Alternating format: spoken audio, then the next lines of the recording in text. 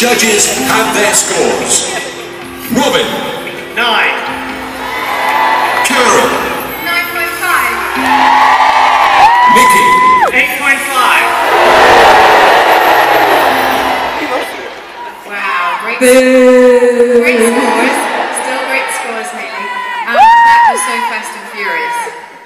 I'm absolutely done in, Jake. Are you? But I have to say, you have such a great partnership together, the two of you. You're always in great unison together. And you've known each other since you were about 12, I think. Yeah, 12 years old, we met. Go on. When I met first I met Hayley, she had the biggest moustache I've ever seen. You, I'm gonna kill you. Good job, you're good friends. Talk- You, you had the biggest jam jar glasses. Yeah. And a monobrow. Talking of good friends, I understand you have a lot of people here tonight from a very well-known TV show. Yes.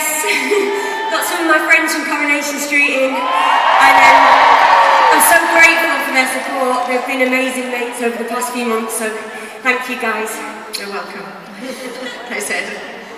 So, Robin, it's such a fun relationship. We've watched it work over the series, and you do have a lot of fun.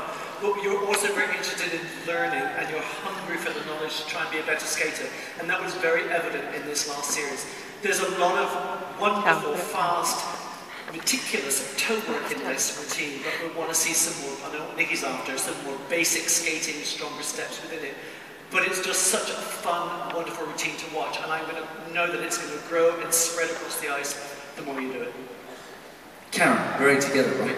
Absolutely fact. This is one of our best partnerships we've ever seen, and how great that we've got you both back again. Look, everybody brings something different to the table, and you don't have to do those big lifts. Because what you do is you have the detail, you have the performance, you have the connection, and we all love it. Well.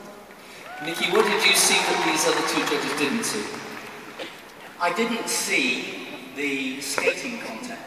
And so all the pizzazz and the showmanship is absolutely wonderful, but compared to the other people who are doing the steps and the difficult moves with feet on the ice, it gets a lower mark.